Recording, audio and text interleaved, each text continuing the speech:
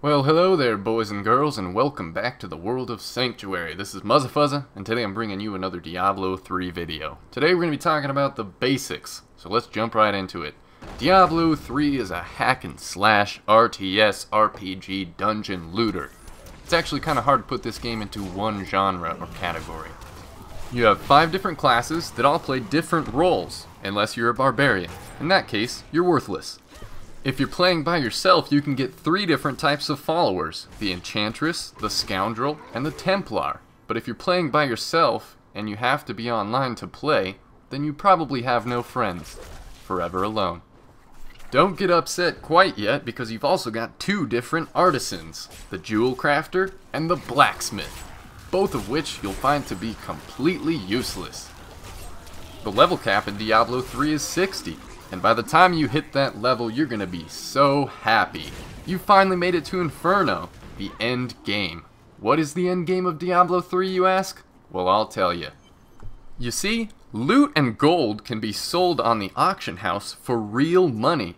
I'm talking cash, fat stacks of Skrilla, ballin' out of control. The in-game economy of Diablo 3 has seen more inflation and deflation than an 8-year-old blowfish. If you thought the Great Depression and the recession were bad, wait until you try to buy some resistance gear on the auction house. But don't fret, salvation is on the way. And who's here to save you? Chinese gold farmers, of course. For the low, low price of only $4.99 and your kidneys, you can get all the gold you'll ever need. And what happens when you beat the game on Inferno and there's nothing left for you to do? Stop thinking into the future, stupid. Live in the moment or don't live at all. And if that sounds fun to you, Blizzard's got you covered. Start a hardcore character. There you can level through normal, nightmare, hell, even inferno.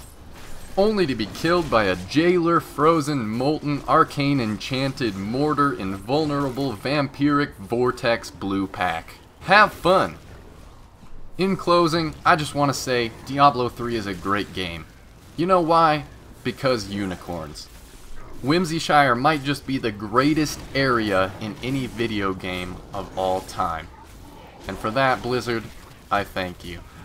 So, ladies and gentlemen, it's been an honor, and those are the basics of Diablo 3. Now get out there and slay some demons. Or unicorns, or teddy bears, or some shit. I don't know. Have fun. Oh, and if you liked the video, uh, Thanks, man.